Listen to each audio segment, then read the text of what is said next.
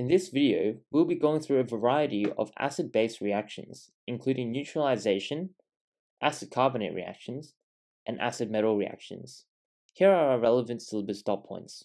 In the acid-base models video, we discussed the ability for the Arrhenius definition of acids and bases to help explain the formation of water from a reaction between the hydrogen ion produced from the dissociation of an acid and the hydroxide ion produced from the dissociation of a base. The Bronsted-Lowry theory, however, describes how acid-base reactions occur actually from the result of a transfer of protons from an acid, also known as a proton donor, and the base, which is the proton acceptor. When an acid reacts with a metal, we get the formation of salt and hydrogen gas. Here we have the reaction between sodium metal and hydrochloric acid to form the sodium chloride salt and hydrogen gas. If we look at what is happening stepwise to form the overall equation, the sodium metal is actually reacting with water to form sodium hydroxide and hydrogen gas. The formed sodium hydroxide will then react with hydrochloric acid to form NaCl and water. When we put these equations together, we end up getting the first equation. We can also use the POP test to test for the production of hydrogen gas. We're able to recognize that gas is being produced from the appearance of bubbles in our solution which is being reacted.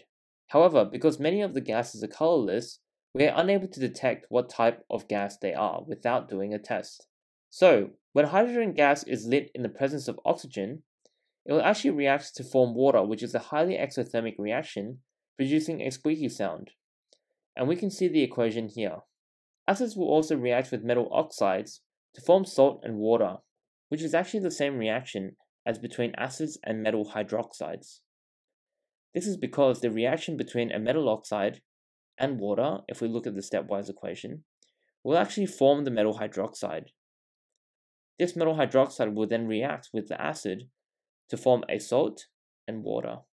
Acids and metal carbonates will form salt, water, and carbon dioxide, regardless of whether it is a simple carbonate or a hydrogen carbonate. In the above example, calcium carbonate is reacted with hydrochloric acid to form calcium chloride, which is our salt, water, and carbon dioxide gas. In the bottom example, hydrochloric acid is reacted with sodium hydrogen carbonate to form sodium chloride, water, and carbon dioxide. Similarly, with hydrogen, we are able to observe the production of gas through the bubbling of the solution. However, we need to do a test in order to identify what gas is being produced. The lime water test is an example of one such test which is utilized to help test for the production of CO2. When we react lime water, also known as calcium hydroxide, with carbon dioxide, we actually form CaCO3 calcium carbonate and water. This will turn the lime water into a cloudy or milky solution because of the poor solubility of the calcium carbonate which is produced. In this example, some solid potassium is added to a solution of nitric acid. Write a balanced equation for this reaction. We should recognize that since potassium is in group 1, it is an alkaline metal. Previously we stated that a reaction between a metal and an acid will produce a salt and hydrogen gas. We can write our equation out below. So potassium, which is in the solid state, is going to react with our nitric acid, which is in the aqueous state, in order to form our salt, which is formed from the metal reacting with the anion, KNO3, and also hydrogen gas, if we remember. After this, we just need to balance it.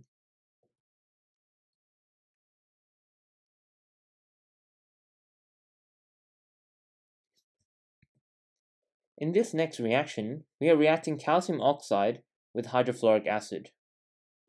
We now know that if we react an oxide with an acid, we will produce water and a salt, just as if we reacted a hydroxide with an acid.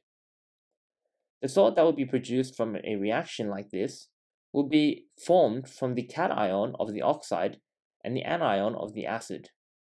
Thus for our reaction, our salt will be Ca F2. So we can write our equation around this. Calcium oxide is reacted with hydrofluoric acid in order to form our calcium fluoride salt and water.